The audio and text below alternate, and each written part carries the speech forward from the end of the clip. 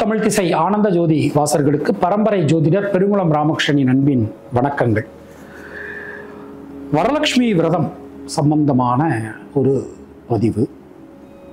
தனம் தரும் கல்வி தரும் ஒரு நாளும் தளர்வரியா மனம் தரும் தெய்வ வடிவும் தரும் நெஞ்சில் வஞ்சமில்லா இனம் தரும் நல்லன எல்லாம் தரும் அன்பர் என்பவர்க்கே கணம் தரும் பூங்குழலால் அபிராமி கடைக்கண்களே. ஓ மகாதேவியை ச வித்மகே விஷ்ணு பக்தியை ச தீமகை தன்னோ லக்ஷ்மி பிரஜோதயாது.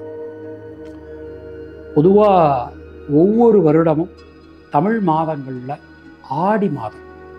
இந்த ஆடி மாதத்தில் வரக்கூடிய ஒரு வெள்ளிக்கிழமை. சில இது எடுத்தோம்னா மூணாவது வெள்ளிக்கிழமை சில நாலாவது வெள்ளிக்கிழமை அது மாதிரி நமக்கு வரும்.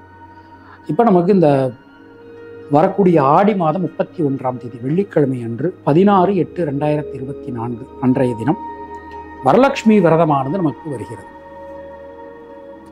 ஆடி மாதம் என்பது அம்மனுக்கு உகந்த மாதம்.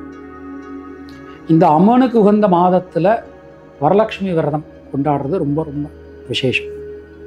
இந்த சுமங்கலி அதாவது சுமங்கலிகள் வந்து தன்னுடைய கணவன் நீண்ட நாள் வாழணும் நீண்ட ஆரோக்கியத்தோடு இருக்கணும் அப்படின்னு சொல்லிட்டு வணங்கக்கூடிய நிறைய விரதங்கள். உதாரணமாக அனந்த விரதம்னு ஒன்று இருக்குது காரடையா நோன்புன்னு ஒன்று இருக்குது அது மாதிரி இது ஒரு வரலட்சுமி விரதம்ங்கிறது அது ஒரு வகையான ஒரு இந்த வரலட்சுமி விரதம் அப்படிங்கிறது என்ன பண்ணுவாங்க அப்படின்னா முதல் நாளே நம்ம வீடெல்லாம் நீட் பண்ணி வச்சுட்டு வியாழக்கிழமை அன்னைக்கு ஈவினிங் வீடை ஃபுல்லாக நம்ம நீட்டாக நம்ம படுத்திட்டு சில பேர் விளக்கில் வந்து அம்பாளை வந்து அலங்காரம் பண்ணி ஆவாகனம் பண்ணி பண்ணுற வழக்கம் சில சில இடங்களில் குடம் குடத்தில் வந்து அம்பாளுடைய முகத்தை வச்சு அதில் அலங்காரம் பண்ணி அதில் பூஜை பண்ணக்கூடிய முறைகளும் நமக்கு இருக்குது சில பேர் என்ன பண்ணுவாங்க அப்படின்னா வெள்ளிக்கிழமை காலையில் பிரம்ம முகூர்த்தத்தில் மூன்றரை நாலரை மணி அந்த மாதிரி நேரத்தில் குளிச்சுட்டு ஒன்று விளக்கில் ஆவாகனம் பண்ணுவாங்க.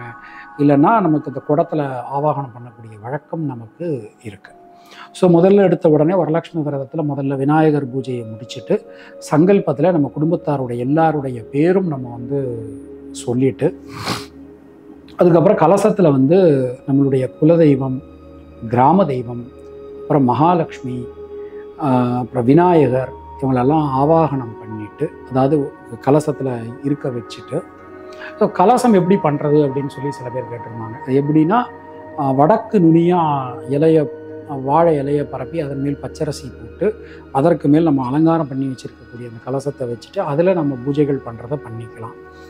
இல்லை சில பேர் வந்து என்ன பண்ணுவாங்க அப்படின்னா தாம்பாளம். ஒரு ஒரு பித்தளை தாம்பாளமாக இருக்கலாம் இல்லை சில்வர் தாம்பாளம் வெள்ளி தாம்பாளமாக இருக்கலாம். அதில் அரிசியை பரப்பி அதன் மேலே கலசத்தை வச்சு பூஜை பண்ணுறவங்களும் நமக்கு இருக்கிறாங்க. ஸோ இதில் நம்ம என்ன பண்ணுவோம்னா அம்பாளை வந்து அந்த ஆவாகனம் அதாவது அம்பாளை இதில் உட்கார வச்சுட்டு நாம் அர்ச்சனை பண்ணுவோம். அப்போ மகாலட்சுமிக்குரிய அர்ச்சனை நூற்றி எட்டு வில்வ அர்ச்சனை நம்ம வந்து பண்ணலாம். வில்வத்தால் அர்ச்சனை பண்ணலாம் அம்பாளுக்கு. மலர்கள் எல்லா மலர்களும் நமக்கு வந்து மனம் கொடுக்கக்கூடிய எல்லா மலர்களும் பண்ணலாம். சில பேர் நூற்றி எட்டு தாமரை வச்சு நூற்றி எட்டு அஷ்டோத்திர அர்ச்சனை வந்து பண்ணுறவங்க நிறைய பேர் இருக்கிறாங்க. அதெல்லாம் பண்ணலாம். சில பேர் இந்த வெள்ளி காசு வெள்ளி கா நூற்றி எட்டு வெள்ளி காசை வச்சுக்கிட்டு அதை வச்சு அர்ச்சனை பண்ணுற பண்ணக்கூடிய விஷயங்களும் நமக்கு இருக்குது. பட் இதில் என்ன அப்படின்னா நமக்கு பிரதானமானது என்ன அப்படின்னா பொதுவாக அன்றைய தினத்தில் யார் பூஜை பண்ணுறாங்களோ எந்த ஒரு லேடிஸ் பண்ணுறாங்களோ அவங்க வந்து இப்போ காலையில் விரதம் இருப்பாங்க. காலையில் விரதம் இருந்துட்டு மத்தியானம் வரைக்கும் பூஜையை முடிச்சுட்டு மத்தியானத்திற்கு மேலே அம்பாளுக்கு வந்து எல்லா வகையான பலகாரங்கள் இனிப்பு எல்லாத்தையும் நம்ம வந்து அம்ச அதாவது அம்பாளுக்கு வந்து நம்ம நைவேத்தியம் பண்ணிவிட்டு இவங்க விரதத்தை முடிச்சுக்கிற மாதிரி ஒரு சிலர் பண்ணுறாங்க சில பேர் என்ன பண்ணுறாங்கன்னா முழு நாளுமே இருக்காங்க விரதம் இருக்காங்க. முழு நாளும் விரதம் இருந்து ஈவினிங் ஆறு மணிக்கு மேலே அம்பாளுக்கு ஒரு தீபாராதனை காட்டிட்டு அம்பாளுக்கு ஏதாவது பாயாசம் வடை இது மாதிரியான பதார்த்தங்கள் எல்லாம் நைவேத்தியம் பண்ணிட்டு ஆறு மணிக்கு மேலே விரதத்தை முடிச்சுக்கிறவங்களும் இருக்காங்க. ஸோ பொதுவாக நமக்கு வந்து இதில் பிரதானமாக சொல்லப்பட்டிருக்கிறது என்ன அப்படின்னா மகாலட்சுமி வழிபாடு. அதுதான் இந்த வரலட்சுமி விரதத்தினுடைய மிக மிக முக்கியமான ஒரு விஷயம். இதில் நம்ம ஆடடாக என்ன பண்ணலாம் அப்படின்னா துர்கா துர்க்கைக்குரிய அஷ்டோத்திரமும் நாம் பண்ணிக்கலாம். ஸோ சரஸ்வதிக்குரிய அஷ்டோத்திரத்தையும் நாம் சேர்த்துக்கலாம். ஸோ மூணு அஷ்டோத்திரம் சேர்க்கும்போது சண்டி சண்டி தேவிக்குரிய ஒரு விசேஷமாக நமக்கு அது அமையும். தாராளமான முறையில் மூணுக்குமே நாம் வந்து தாராளமான முறையில் நாம் செய்யலாம். இந்த வரலட்சுமி விரதம்ங்கிறது ரொம்ப ரொம்ப முக்கியமான ஒரு விரதம்.